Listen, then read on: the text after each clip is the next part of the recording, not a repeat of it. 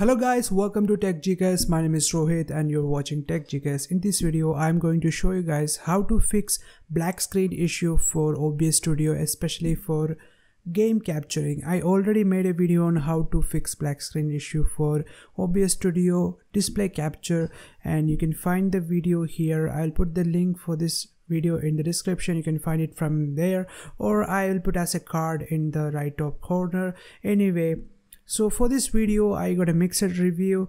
Actually i went through all the negative comments and i understood the problem was mine because i put game capture here and this fix won't work for game capture. So i did my research and find out the solution and i thought i should share it with you guys because it's my responsibility. Okay. Anyway let's jump straight into the tutorial so first you need to open nvidia control panel. You can open it by go to search and type nvidia control panel here or you can simply just right click and select nvidia control panel from this thing.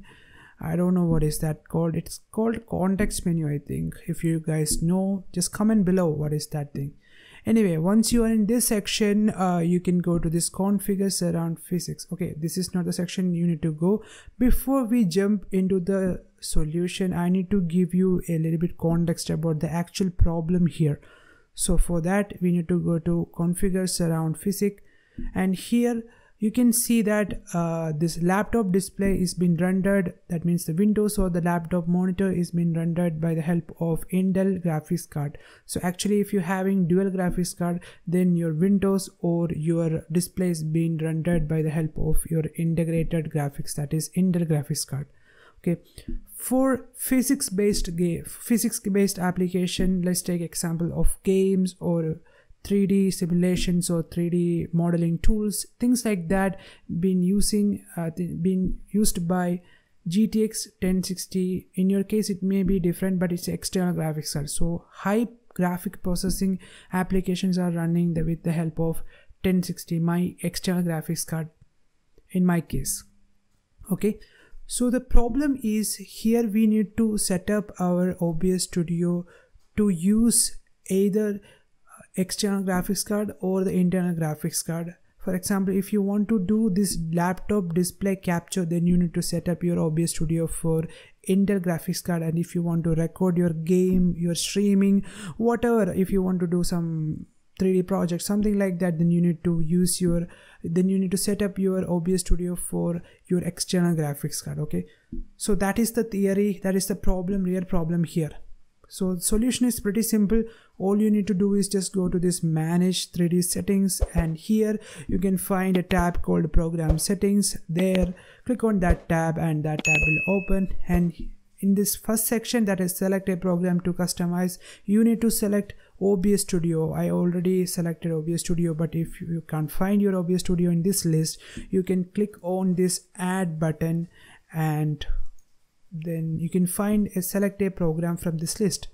And here I can find my OBS studio here uh, but if you can find here also then you can click on this browse and uh, by default it will be your OBS studio will be installed to this location that is Windows C program files OBS studio bin 64 bit obs.exe this is the executable file for obs studio. If you can't find here also that means you need to install obs studio first. Actually kidding guys. It may be in some other directory. You can find it uh, by yourself. Anyway once you find out where your obs studio exe file is in my case it's already there in the drop down list so i can select it from here itself. So once that is done uh, you need to go to the second option by default if you haven't changed anything uh, then by default it will be like this. That is use global settings auto select integrated. Okay i'll give you a context about what is this option. Actually there are a couple of options. I'll give you uh, what is this options are I'll, I'll explain what these options are so basically the first option is auto select which is uh, pretty straightforward. That means we are giving the control to nvidia control panel to select which graphic processor that OBS Studio uh, can be accessed at that specific time. Okay, for example, uh, NVIDIA control panel decide, hey, OBS Studio, you can use integrated graphics right now, and uh, sometimes uh, this control panel can say hey OBS Studio you can use this external graphics card. But guys uh, my recommendation is not uh, go with that because you can't rely on uh, nvidia control panel every time. So i i always recommend you guys to use manual switching okay?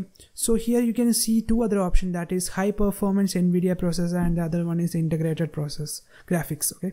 So high performance nvidia processor is uh, used when you want to capture some video some capture some gameplay or you want to stream some gameplay something like anything related to gaming you need to select this high performance nvidia processor but if you want to make a video something similar to this one which i am right now capturing my monitor uh, in that case you can select this integrated graphics. So for display capturing you need to select this integrated graphics and for game capturing you need to select high performance nvidia processor. As this video is about how to fix back screen issue for game capturing i need to select this option. So i'm going to select this high performance nvidia processor. Then the last step is uh, don't forget to click on this apply button. I always forget to do that.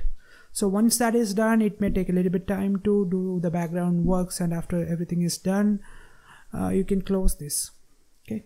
So once that is done that's it guys. No more steps. You are finished. Like you're completed the thing and now you can freely stream whatever game you want or you can record the game. But before that i need to show you a proof right?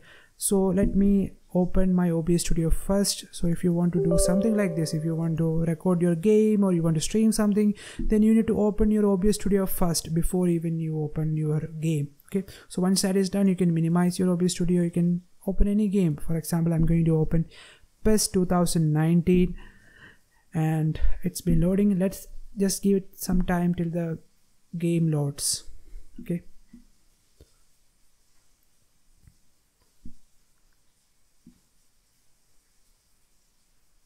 it's been loading it's take a little bit time. Okay guys so it's loaded. Now we can see the logo that is konami. And that's once that's done you can go to obs studio. As you can see i already have that here but if you can find it here maybe you haven't set up your game capture and all those things in that case. Uh, what you need to do is you may already have a scene. If you don't have it then click on this plus and add a scene uh, once the scene is added you need to add a source. Click on this plus and go to game capture and click on ok. Then from this mode selection drop down you can go with this capture any full screen application but i prefer you to select this capture specific window and once that is selected you can find something called windows. There is a one more drop down select that windows drop down. And from this windows drop down select the game that you want. In my case it's pro evolution soccer 2019 click on it. Okay now itself you can see the game here. Click on ok and as you can see right now the game is being uh, working right now. But if you can't find the game now also then you need to go back to the game and then just minimize the game and come back and it's there it will be there for sure. Okay. So i hope this video helped you. If you have any more problems regarding this then you can go straight to the comment section and comment below. I'll be there to help you guys uh, for sure. Before you dislike please comment your problems. Let me try to fix those problems. And uh, i hope this video helped you. If this video helped you please uh, please do uh, like this video and comment your suggestions on the comment section. How can i improve these videos? Anyway uh, i hope you guys enjoyed this video. Thanks for watching and me rohit signing off. See you soon in another video